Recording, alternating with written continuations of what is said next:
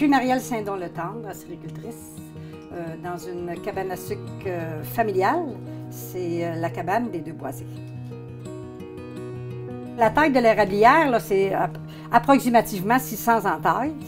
Fait que euh, la production, évidemment, on ne peut pas s'attendre à une production énorme. On produit euh, 35, 40 gallons, des bonnes années 50 peut-être,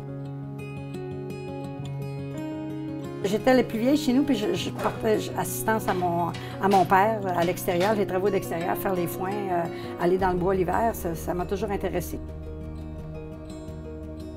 À un moment donné, j'ai euh, prêté main forte à une de mes sœurs qui était, elle aussi, acéricultrice avec son conjoint, a fait en sorte que j'ai développé ce goût-là là, pour euh, la cabane à sucre, euh, pour la transformation des produits et ainsi de suite.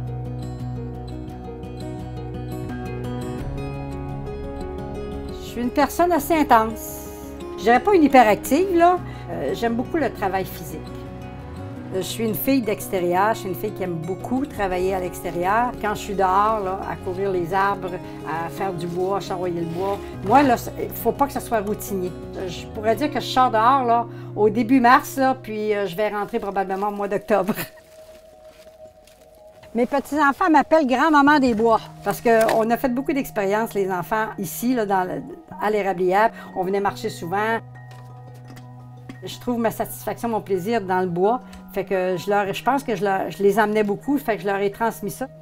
Ils aiment venir ici à l'érablière, donner un coup de main. J'aime beaucoup rendre service. Dans le bas du fleuve, tout se faisait par coup de main, par euh, des billes qu'on appelait par corvée.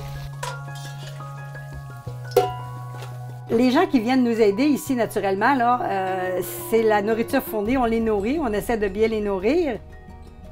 On a beaucoup de monde comme ça qui vient nous aider, on est chanceux. Le font pour le plaisir, puis on leur fournit du sirop. C'est remettre au suivant.